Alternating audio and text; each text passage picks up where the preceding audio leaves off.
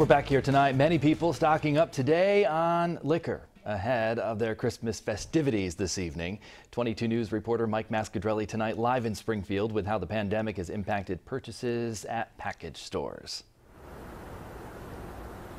Don, typically people have large gatherings for Christmas, but most aren't doing that this year, and their alcohol sales are reflecting that. It was busy at Table and Vine in West Springfield today, and they had the crowds coming in this morning. Wine and spirits have been their most popular Christmas items, and they've also been selling out of gift baskets. Table and Vine's wine fine, fine wine manager noted the differences in people's spending habits this holiday season.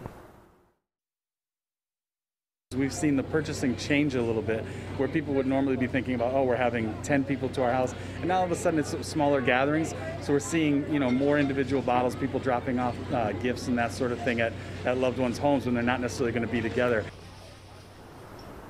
And Quinlan said the spirits have been an appealing gift this year since their peak taste lasts longer than wine after opening the bottle. Christmas Eve tends to be their busiest day of the year, but the two days before New Year's aren't too far behind. And he added that even though not as many people are getting together physically for Christmas, some will be toasting to family members virtually tonight over Zoom and FaceTime. Working for you in Springfield on this Christmas Eve, Mike Masciadrelli, 22 News.